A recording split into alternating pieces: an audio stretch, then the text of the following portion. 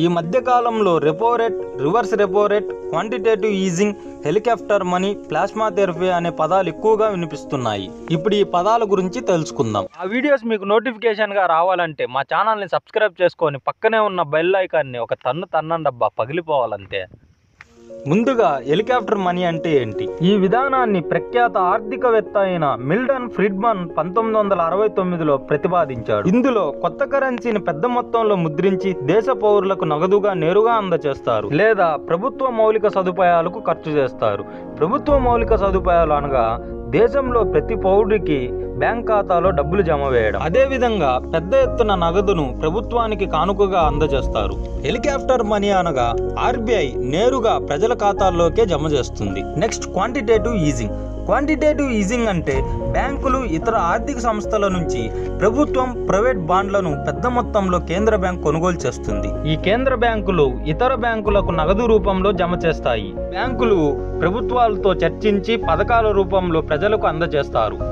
Next plasma therapy. Plasma therapy అంటే తీవ్ర స్థాయిలో కరోనా బారిన పడి కోలుకున్న వ్యక్తి నుంచి ప్లాస్మా తీసి ఆ ప్లాస్మాను బాగా సీరియస్గా ఉన్న మరో పేషెంట్కి ఎక్కిస్తారు. దీని కాన్సెప్ట్ ఏంటంటే ఈ మహమ్మారి సోకిన తర్వాత కోలుకున్నాడు అంటే అర్థం తప్పనిసరిగా ఆయన బాడీలో ఈ వైరస్ను ఎదుర్కొనే యాంటీబాడీస్ తయారవుతాయి. ఈ యాంటీబాడీస్ కరోనా వైరస్తో ఫైట్ చేసి కరోనా ప్రభావాన్ని తగ్గిస్తాయి. నెక్స్ట్ రెపోరెట్.